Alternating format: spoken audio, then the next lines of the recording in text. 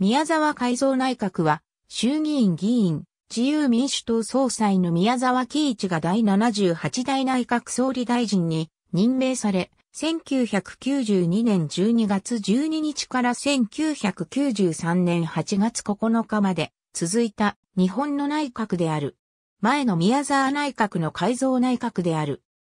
決闘以来55年体制下で38年間政権与党の座を維持してきた自由民主党は、この内閣の退陣によって初めて下野した。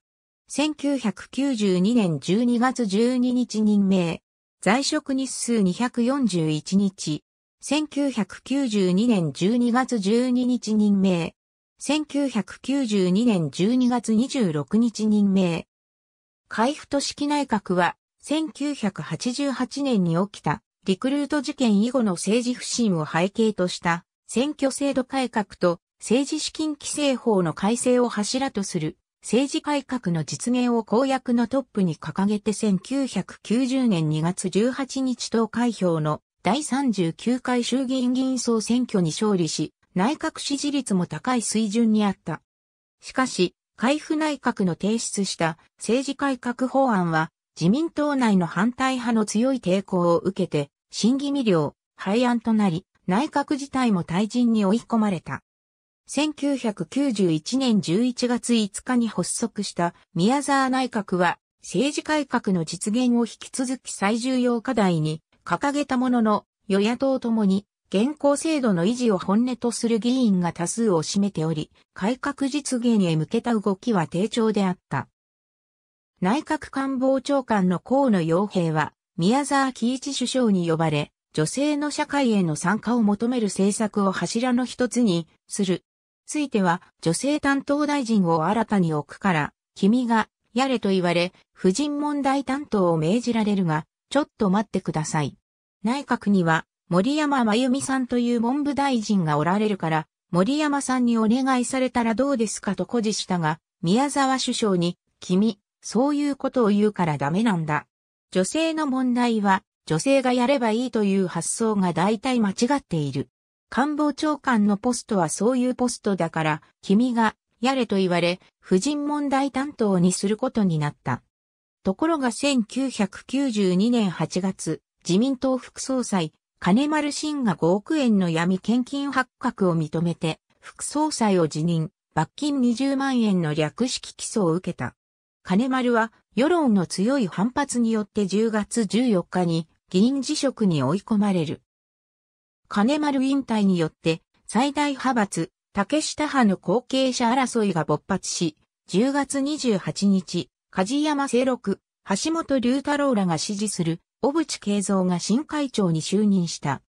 一方、小沢一郎や若手改革派の議員は、ミスター政治改革と呼ばれていた羽田務を擁立し、宮沢改造内閣発足直後の12月18日に新たな派閥を結成した。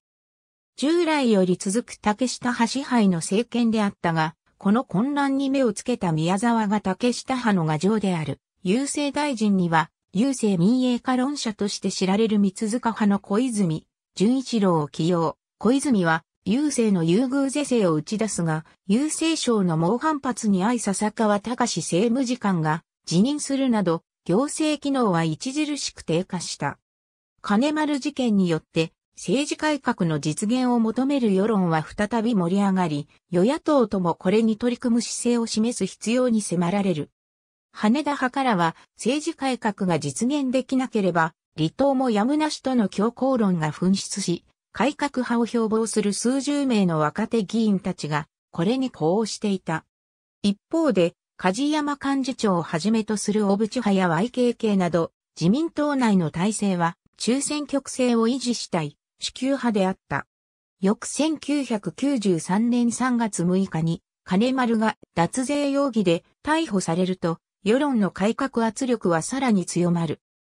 与党は単純小選挙区制を柱とする改革案を決定し、社会党、公明党は比例代表を重点とする小選挙区比例代表併用制案をまとめ、3月から4月にかけて双方の法案が国会に提出されるが、これには互いに相入れない案を主張することで対決を演出し、どちらも廃案に持ち込もうという暗黙の意図があった。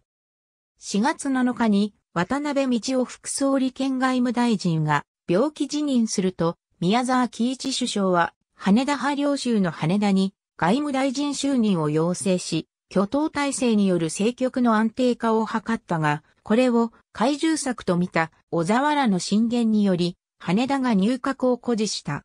この人事の失敗はかえって不穏な空気を自民党内に漂わせる結果となってしまった。政治改革の実現を危ぶんだ自民党若手議員の会が野党と妥協してでも、今国会での改革実現を求めて219名分の議員署名を5月25日に集めると、宮沢は5月31日に出演したテレビのインタビュー番組で、どうしてもこの国会でやる。やらなければならない。私は嘘はつかないと言い切る。しかし自民党執行部は反対派で固められており、内閣は最終的に政治改革法案の成立を断念した。宮沢内閣が政治改革の実現を謳いながら、ついに法案の提出すらできない結果となったことを受け、野党は内閣不信任決議案を6月18日に提出した。自民党内からも羽田派を中心に、これに同調する造反議員が続出し、内閣不信任案が可決された。宮沢は同日衆議院を解散し総選挙によって国民の信を問う選択を行った。このため内閣総辞職を期待していた羽田派は6月23日に集団離党して新政党を結成した。また、竹村正義が率いるグループは内閣不信任案には反対票を投じたものの、新政党決闘より早い21日に新党先駆けを結成した。7月18日投開票の第40回衆議院議員総選挙で自民党は政治改革の頓挫や浸透ブームのために単独過半数を大きく割り込んだものの選挙前、勢力を維持しており、梶山幹事長がこれで宮沢に辞めてもらえれば万々歳ですなと漏らすなど、執行部には連立工作を楽観視するムードさえあった。ところが、翌日の大議士会では執行部批判が相次ぎ、また小泉郵政大臣が内閣の即時総辞職を求めて辞任するという事態まで生じた。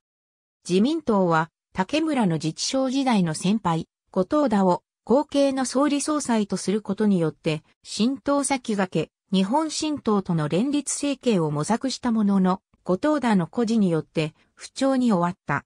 宮沢は政権維持の不可能を悟って、7月30日にまず、後継の自民党総裁を河野洋平にバトンタッチ。総選挙を受けて招集された特別国会において、細川森弘主犯、非自民7党一会派の新政権発足が決定した8月9日、宮沢改造内閣は総辞職し、1955年の保守合同以来の自民党長期連続政権に終止符が打たれた。なお、この宮沢改造内閣時代のトピックスとして、皇太子、成人親王と、大和田雅子の成婚の儀、1993年6月9日、日本、東京都での第19回先進国首脳会議の開催、1993年7月7日から7月9日、北海道南西沖地震、1993年7月12日が挙げられる。ありがとうございます。